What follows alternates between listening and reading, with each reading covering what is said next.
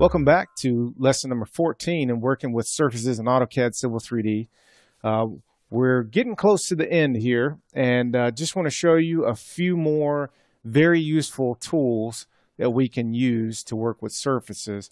Uh, this next one is one of my favorites in working with surfaces and that's creating cut fill uh, exhibits showing the exact amount of cut and fill uh, that's needed at any particular point here on the surface.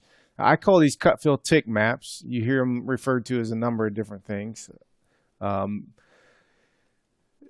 cut fill heat maps, I've also uh, heard it referred to as that. Uh, but essentially what we're looking for is to see labels in either gr green or red based on cut or fill for the cut and fill on this surface. So to do this, to accomplish this, we have to have a certain style for spot elevations on a grid. Now, I've already imported that style into this 14 start file, um, and we will take a look at it just to see what it, how that is made. Um, but I recommend that when you get ready to run this, you just use the style I've already given you. So we want to, to go to add labels and label a surface and spot elevations on grid. And then we're going to use this cut fill grid label style. Uh, for the markers, I'm just going to say none for now. I don't need any markers. And then I'll hit the uh, pen button so there so it'll go away. I'm just going to hit add. And it's asking me to select a surface. Um, now, the surface I want to label here with this is the actual volume surface. Remember, because the volume surface is going to have the elevations uh, at zero at cut fill transition, uh, positive values for fill, negative values for cut. So I'll hit enter and I'll just use that basic existing grade to propose grade volume surface and I'll hit OK. Now it asks me for a grid base point. So I can, if I want to run this on that entire surface, I need to come over here on the bottom left corner of the grid. I'll just select somewhere down here. And now it's asking you for an angle. So I can pick an angle to actually define this grid. If I want to line it up with a pad, I can probably do it that way. If I don't care for it to be lined up with a pad, I can just hit enter to accept the zero angle. So I'll do that. Now it's asking me for a grid spacing. So I can do this um, on any really number of grid spacings.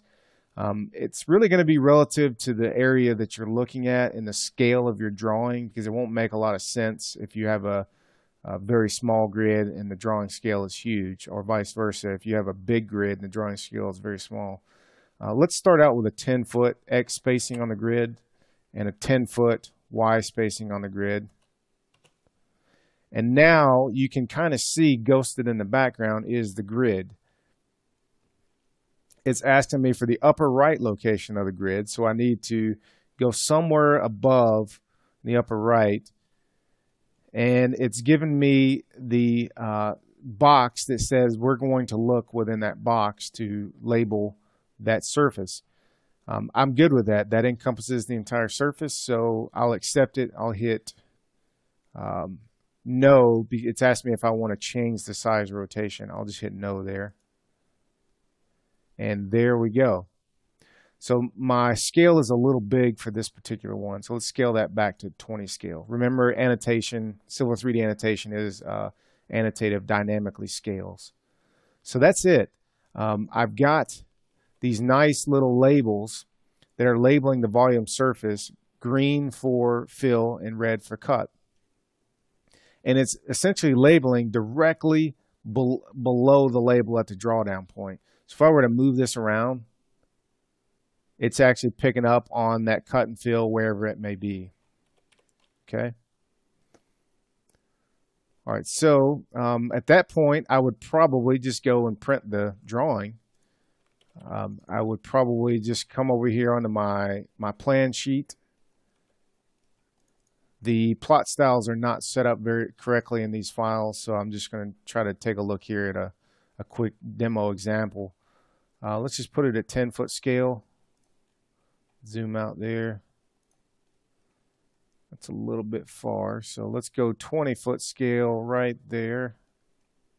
Still a little far. 30. Okay. So uh, for 8.5 by 11 sheet like this, that, that is a little bit small, but you kind of get the point there. All right, so that's really all I wanted to show you on this one. It was a quick way to make those cut fill exhibits. Uh, before we go, let's take a look at what makes up those uh, spot elevations there. So this is in a surface label style, and this is a spot elevation. So let's look at the cut fill grid uh, style there. So let's edit that. And what we have is we've really got two labels sitting on top of each other.